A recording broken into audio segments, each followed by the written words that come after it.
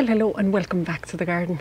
Spring is pretty much in full swing now, and the change between this week and two weeks ago is absolutely fantastic because even like some cherry trees and then some of the plum trees are actually blossoming now. And I've even seen our first swallow pass over a house and field, and I always take note of it. So I was able to go back on the same time last year just to see when did they actually arrive and they're only two days out. Um, also first ladybird this spring so how amazing is this? And as the temperatures are slowly increasing, so is the germination rate of the weed seeds. And there are just small weeds popping up everywhere in the garden. So because of this, and also we don't know what the weather is going to bring. There is going to be one big job in the garden this weekend, which is going to be about mulching. And I also want to give you an update on seedlings and something is happening there as well that I need to fix. As you see behind me, it looks a bit refreshed because I have been mulching with wood chip. And there is a bit of a difference of what kind of a wood-based mulches you could use on beds and what you could use on footpaths and I'll show you what I'm using where. Now this kitchen garden extension was added in March 2021 so that's three years ago. And the beds and the walkways were laid out as they are now except for the cabbage bed, which I changed slightly at the end of last year. So we have wood chip walkways and in-ground beds. And past the line of the Nepeta, it is gravel walkways and raised beds. So it's quite contrasting. But all of this was put in place to create just a clean and stable surface to walk on and to manage with the weeds. And to be honest, there are just plenty of pros and cons for both of the surfaces, but personally I do prefer the wood chip at the moment. It just somehow feels a bit softer underfoot, but that's beside the point. Now this wood chip though has not been replaced since it was put in three years ago either and it has been gradually breaking down and sort of nearly disappearing into the soil a bit, which is just totally normal and uh, timber itself composts eventually away anyway. So there is this, this is all really normal and okay. But as it is composting down and getting even a bit mixed with the soil, it's just creating an ideal surface or environment for the weed seeds to settle into. And that is something I do want to combat because I want to make my life a bit easier. So we ordered a trailer load of it from a nearby manufacturer and I have been spreading it all over the kitchen garden. I really wanted to get this done now before the weeds have started growing any stronger and before they use even more nutrients in the soil for themselves.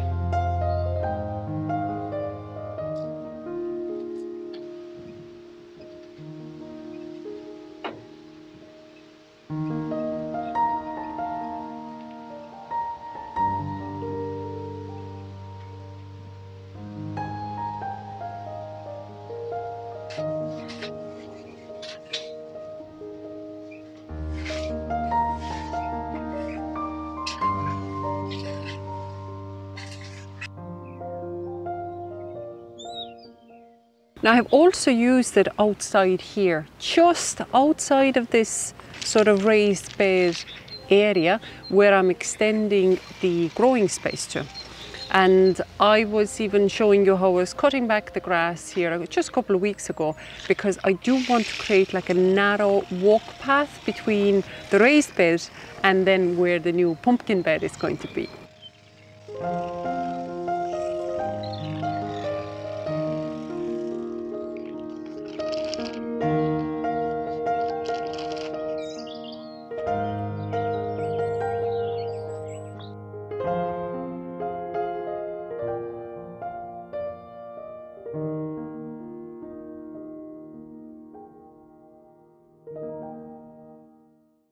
And for this, I used just strips of uh, black plastic directly on the soil as there are still some perennial weeds growing.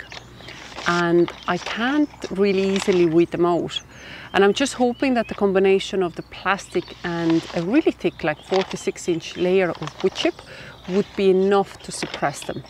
And perhaps at the end of the summer, I can remove the black plastic from underneath and this just really becomes a temporary measure.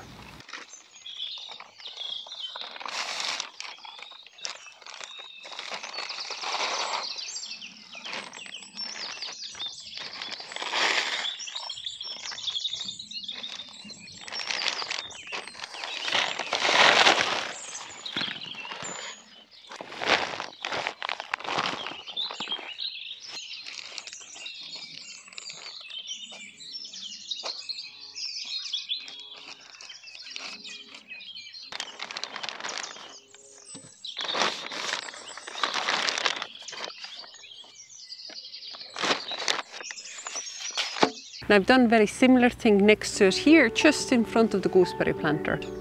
Now I had already dug like a trench here, just in front of the planter at, I think at the end of last year, so around autumn time. At the moment there are no weeds directly growing underneath of this planter but instead of using black plastic I'm actually using cardboard layering the soil with cardboard and wood chip and all of this then can just slowly compost down together. I don't worry about having to remove plastic underneath of it.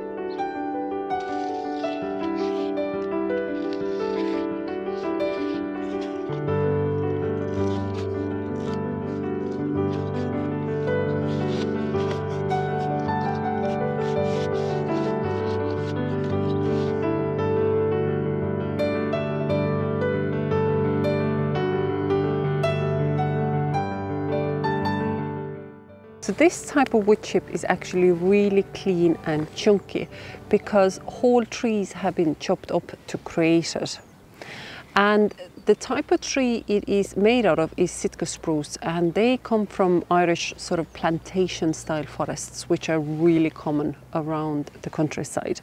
They're not great for wildlife but they do intensively grow this kind of um, tree, the Sitka spruce and we are literally I'm looking at one of these type of plantations right in front of me and there's another one right behind our sort of field as well. So we are ourselves actually quite surrounded by these plantation style forests. Now trees grown like that in Ireland obviously have multitude of um, purposes but biomass and wood chip is one of them. Now being this chunky makes it really durable and a heavy duty material as we can see it ourselves as well. It has lasted us a long time and mulch for us as organic gardeners is really necessary as a weed suppressant. We don't want to use chemicals to control the weeds so mulch is our sort of savior in that case. But we also want to keep the soil surface cool and retain better moisture content underneath it. And for instance, the second half of May last year was uncommonly warm and dry for us. So we soon ran into difficulty with watering. So having some part of the garden mulch with wood chip um, but at the same time having soil underneath will allow stronger rooted plants to get access to those areas. But it will also keep the footpaths clean if we have a lot of rain, for instance, in one go, because our native clay soil will very fast run into a muddy mess and it is also very slippery. I've fallen plenty of times before, especially on the slopy ground. I would not be using this type of fresh wood chip on the actual vegetable beds though. Mulching with compost or well-rotted manure would be my preference. And grass clippings or straw seem to create just too many places for the slugs to hide. Uh, so I've sort of avoided that as well. And this being so fresh and chunky can actually lock nitrogen in the soil while it is composting down because of the annual vegetables are so shallow rooted their uh, growth can be actually uh, affected by the soil nutrition imbalance. So it would be absolutely fine to use it let's say in the orchard but because we're actually having to buy this wood chip in it doesn't come to us free. It gets currently just reserved for the vegetable growing areas now for weed suppressing and for moisture retention around, again, let's say the gooseberry bushes here, I've actually used some bark mulch. I have it here. Now because this is semi-composted material itself already, and I'm also not pushing it all the ways next to the trunk of the plant, but leaving about four inches or so of a space, this will do the job perfectly. And I'm also going to be using all of this bark mulch directly on the soil next to and around the shrubs and perennials in the cottage garden. That's why I bought it. But because we also had this planter, the undergrowth of uh, the gooseberry bushes, yeah, that needs to be mulched too. And this material is just perfect for it then. Now another type of wood mulch we have is our own homemade one from the hornbeam hedge clippings. And this is usually a mix of branches and leaves. And also this we actually just use on footpaths at the moment because they just got shredded fresh. So if it composts down I could potentially take some of that composted down material out of there and use in the beds. But at the moment as they are freshly chipped just last autumn. They're perfect uh, as the footpath um, and just cleaning over all these kind of uh, areas weed free and clean. And for sure, not all wood chip and wood mulch is created equally. You do want to sort of check where is it coming from, what type of timber has been used to chip down to create this mulch. You don't want to introduce any kind of fungus or um, chemicals to your gardens but at least we know this is clean and organic product so we can put it directly here in the kitchen garden. And I'd love to use more of it but as I said because we don't get it for free we do have to buy it we sort of have to be a little bit selective where we can use it and how can or and how we can use it but yeah, this is where we're at the moment utilising our wood chip.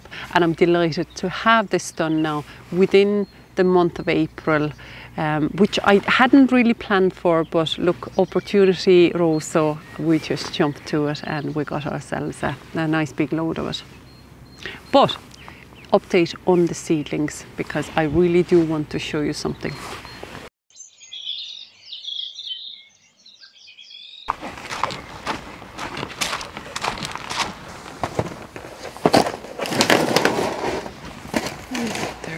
Right, we're in the greenhouse now and it's a bit warmer inside here because outside it's actually quite chilly at the moment with the breeze and everything.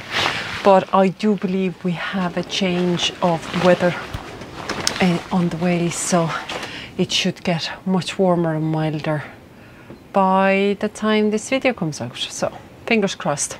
So inside here, I wanted to give you an update on the beans and cucumber seedlings.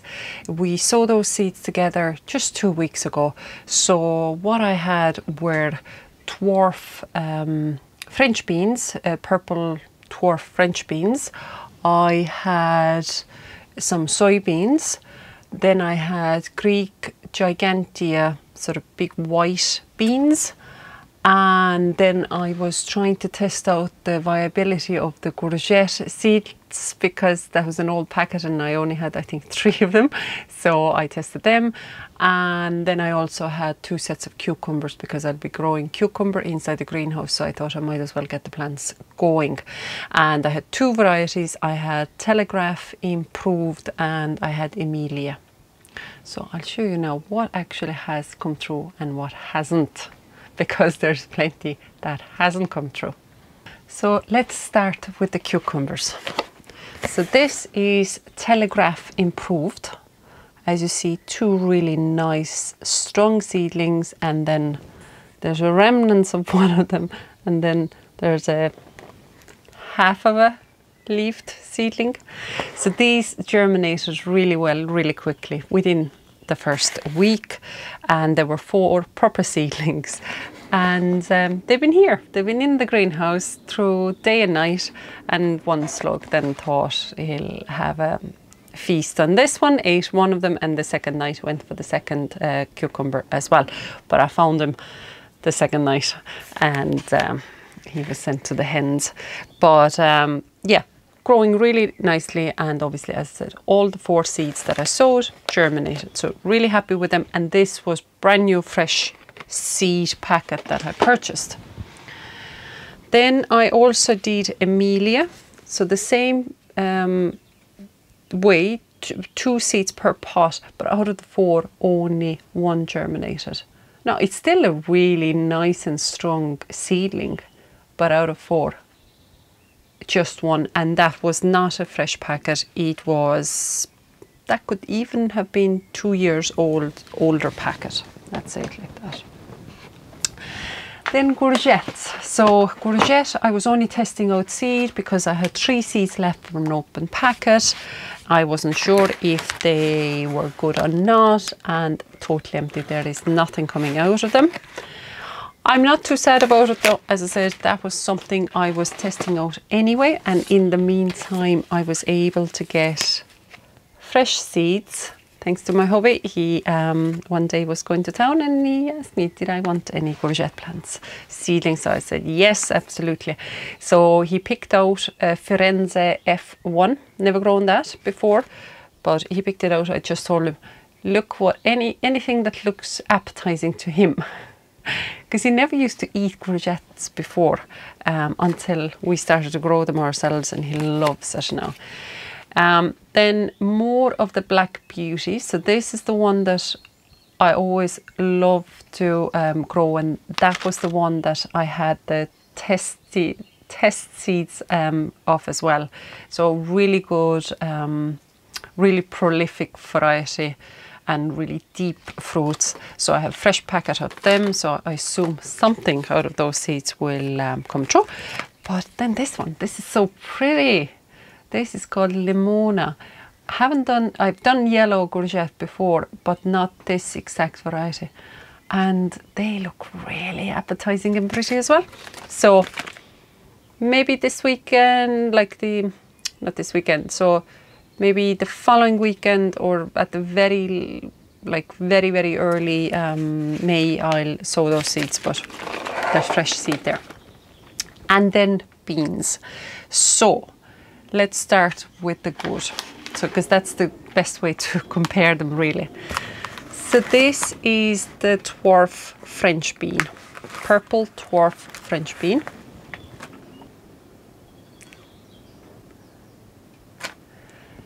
every one of the seeds came true except one in in this one. So I would have sowed three seeds per pot and I have six seven eight. I have eight um, seedlings. And the same as with the cucumbers they've been here now um, day and night. And they also germinated within a week. They were up so fast. So beautiful and strong plants Then soybeans. So I, they're exactly the same bean, beans. They're exactly the same seed beans that I sowed now the last time as well and previously as well. I've never had success with them. And this tray is just totally empty. I'm a bit sad about it. It could also be that I overwater them, um, that I was trying to keep them damp um, because I didn't pre-soak them or anything. You just put them into the soil and, and try to keep the soil damp. But just in case I overwater them, that definitely could be the case. But yeah, there's literally not a sign of them. And considering how the French beans, I would have treated them exactly the same as these beans and they're up and they're really nice and strong. And then something I'm actually disappointed about are the Greek gigantea beans. And the same thing. Now, I have more of those seeds, so I'm going to try them again. Now, slightly differently, so let's see what you think of that option. But I do still think as well it's it was me more than the beans perhaps that I just kept them perhaps too damp. But what I'm thinking of, I'll be perhaps just testing the germination on them rather than just putting them in the, the soil and then not being able to see what's happening. And I'll be poking around there being too nosy about it. Um, I'm going to use a plastic takeaway container and what I have in it is just damp, really damp. I, I squeeze out as much water as possible at the moment of um, just kitchen paper or kitchen towel, um, which was quite a thin sheet, so I, I, folded it over. So it's doubled up uh, kitchen sheet, kitchen sheet, kitchen paper. And I'm thinking I'm thinking that I'm going to just place the seeds that I want to test as germination on. So I'm going to just put more of the soybeans and then the Greek gigantea, the white beans in here. Obviously, this is going to be damp. I'm going to maybe even spray a little bit more water on top of it and then seal it up, like fully close this up. I'm going to put this on the sort of radiator area so where they can get a bit of bottom heat. And why I'm thinking of radiator is because our radiator is, is really sort of it low runs on a quite a low temperature so it wouldn't be getting any kind of massive intensive heat but it perhaps would um, behave a bit like heat mat underneath of it. That's what I'm thinking. So what do you think of this option? I'm going to try it out anyway but if you could let me know in the comments. Now, I don't have that many of those seeds. There's only six more. Six more of those Greek giganteas left. But I do have more of the soybeans. That's the Fiskeby variety. And are they exactly the same? Let's just try it. There really isn't much now to lose. And again, if they don't germinate, then the soybean, I probably wouldn't chance again. I'm not going to go and buy more seeds of the soybeans. But um, the Greek Gigantea, I think I would then go and try to get more of it because I do really want to grow that. They, they look so appetizing, the size of those beans. But at least with this now I can I can sort of keep an eye on it um, a bit better. And they're definitely going to be in, in, in damp environment in here, but um, they can't dry out and they're not soaked so and soggy. So let's just really cross our fingers and see if that helps. If you have a clever way how you managed yours or you know a trick about it, do let me know. I'd be really interested to see it because obviously I was successful and I've been successful with beans before. It's just definitely not with the soybeans and now this time with the Greek Gigantea either. But this would be my update for this week. Thanks a million for joining me and until next time and you're coming into the house.